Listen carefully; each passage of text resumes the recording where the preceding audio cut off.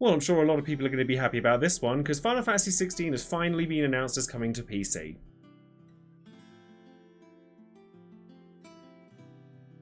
Literally just having been announced made this video as quick as I could, but on September 17th of this year, people who've been wanting to play Final Fantasy XVI on something that isn't a PS5 will finally get the opportunity to do so. And there's a demo available, you can buy it as its own version for $44.99, so it's cheaper than it was when it came out for PlayStation, or you can get it as the Final Fantasy XVI Complete Edition, which comes with all of the DLC that came along with it. So people will get an opportunity to finally experience this game on a different machine. And I want to give a quick go to the demo, because my PC is pretty good, but I'd be curious to see how well it handles this. So let's dive in and take a look. Before we continue with the video, do bear in mind that I am an artist as well, and I do actually draw portraits of characters from various different Final Fantasy games, including, of course, Final Fantasy 16. I have drawn a portrait of Clive, of which I've already made a video of the time-lapse of that as well, if you'd like to see that. And if you'd like to support the channel, then perhaps consider clicking on the Etsy link in the description box below, and consider buying a print or two from me. It's massively appreciated, and I really would love more people to see my art. So having just loaded the demo up, and at least it's done that, which is a good start, with the specs of my computer, which I'll leave just in the text box below here so you can see what computer I have, it seems like the game has decided that it should be playing on ultra settings. I'm not so sure about that, but we'll have to wait and see. But one of the things that is going to be nice is the frame rate, because something that plagued the PS5 version of Final Fantasy 16 is that its frame rate wasn't the most consistent at all times. And having the ability to kind of like see what your FPSs can get to and have it be consistent with the really high-end PCs is something that PC players are going to be really excited about. So we'll have to see what happens with that too. So one thing I have noticed, unfortunately, is that the game seems to have kind of crashed at this point in the game already, and this is right at the start of the demo, so not the greatest look, but oh no, it's really just not liking that at all. As I expected, game's clearly too strong for my PC as it is at the highest fidelity it can go, so I've actually just reduced some of the parameters of Final Fantasy 16 so that I can get it working on my computer correctly. It has to be said, playing this demo for the first time again since the PlayStation release is very nostalgic. As FF16 was like the first major Final Fantasy game that I was part of the media campaign for, and I will never not be grateful to Square Enix for that, so I just wanted to extend a quick shout out to them just for that on its own. So as you can see here, it's, I mean, I've got this on medium settings, and it looks pretty close to the PS5 version, and it doesn't look any worse than I was expecting it to. Like I said, I think that going into ultra settings on a 3070 on a game this clean looking is a little bit of copium, but it looks good. But I'm going to explore the demo a little more, but after that, I want to then talk about why this coming out on PC is as big a deal as it is to a lot of people.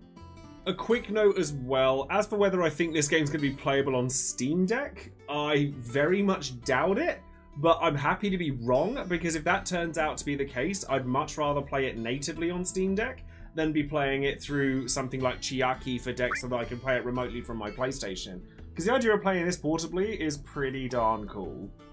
So this appears to be very much the same demo that we got back on the PlayStation 5 as well, so it's definitely something that I think everyone should experience. If you've not played Final Fantasy 16, if nothing else, I very much encourage you to play the demo because I genuinely believe it is one of the best demos I have ever played in a video game, period.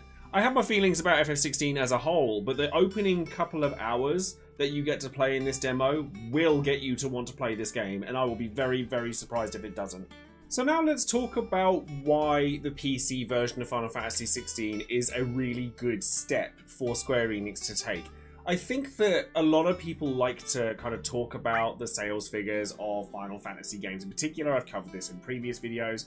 But for 16, I think there's something that was a limitation to it was its restriction to the PlayStation 5 console.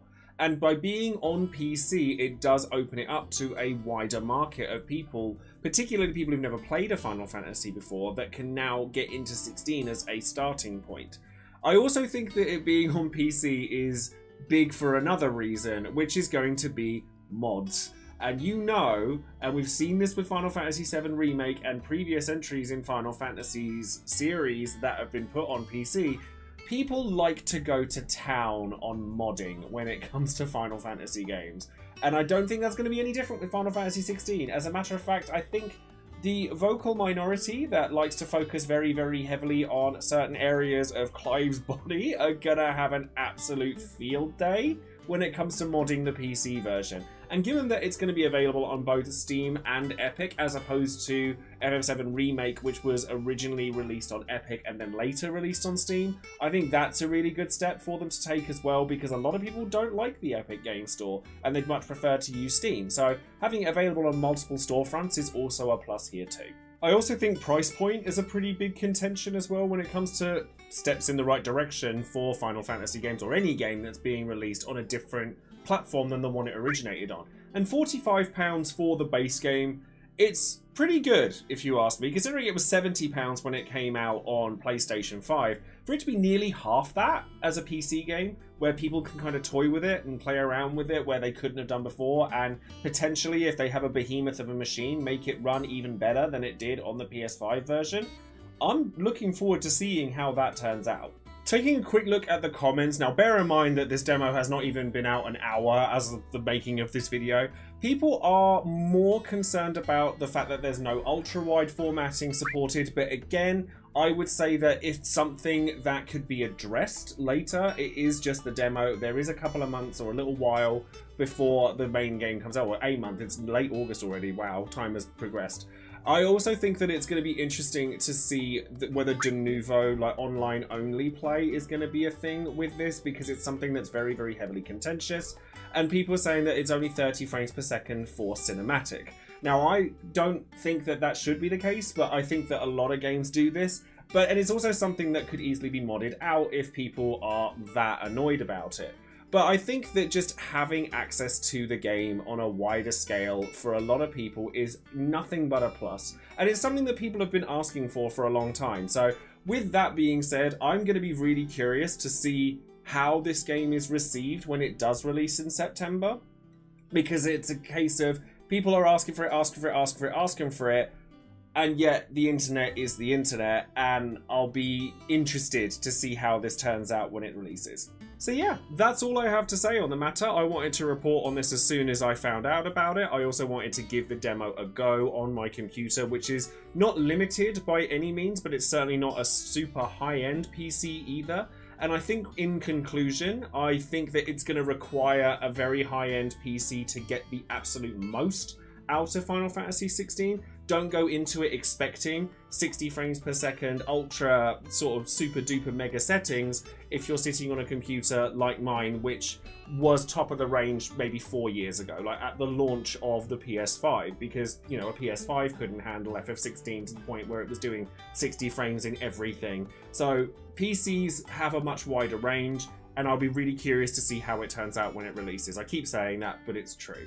Thank you very much for watching. Don't forget to leave a like and a subscribe to the channel if you've enjoyed what you've seen here today. And leave a comment. Are you excited about the PC version of Final Fantasy 16? Did you not get to play it because it was on PS5 and you didn't have a PS5? Because I think realistically, those are the people that should be excited most. And if you're not sure about the game, then definitely try the demo, because the demo truly is one of the greatest demos I've ever played in a video game. So, if nothing else, go and play that and it will pull you into FF16, I promise you. Thank you all very much again, and I look forward to seeing you in the next video. Take care, everyone. Bye-bye.